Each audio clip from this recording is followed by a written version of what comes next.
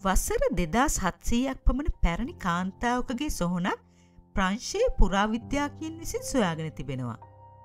ක්‍රිස්තු පූරු අටවෙනි සීවස්සේ යකඩ යුගේ ආරම්භය ජීවත් වූ බවට විශ්වාස කරන මේ කාන්තාව සහස්්‍ර ගණනාවක් තිස්සේ සංරක්ෂණය කර තිබෙන අතර ආභරණ වලින්ද සරසා තිබෙන බව මේ විද්‍යාකින් සඳහන් කරනවා.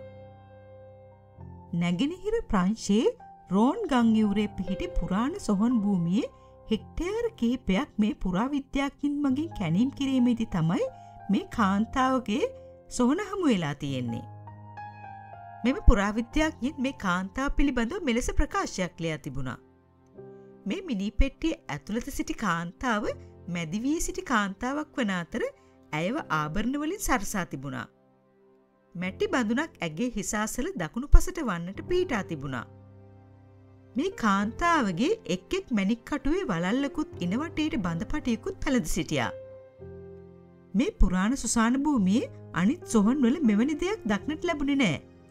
මේ කාන්තාව ඇඳගෙන සිටි ඇඳුම් හා සැරසෙලි නිල්සා කොළවර්ණයෙන් යුක්ත වෙන අතර වීදුරු පබළුවලින් සරසා තිබුණා.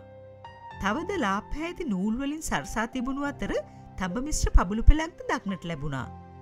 ඉනවටයට තිබූ බඳපටිය සෙන්ටිමීටර් හයක් පමණ පලල පීත්ත පටියක් වන අතර මේ සම්වලින් සෑදුව එකක්. තඹවලින් හදපු අර්ධගෝලාකාර හැඩති නියපුතු වලින් මේ ආවරණය කරලා තිබුණා. මේ බඳපටිය සම්බන්ධ කරලා තිබුණේ තඹවලින් සාධන ලද කලිප් එකකින්. යනුවෙන් මේ පුරාවිද්‍යාඥින් පවසා තිබුණා.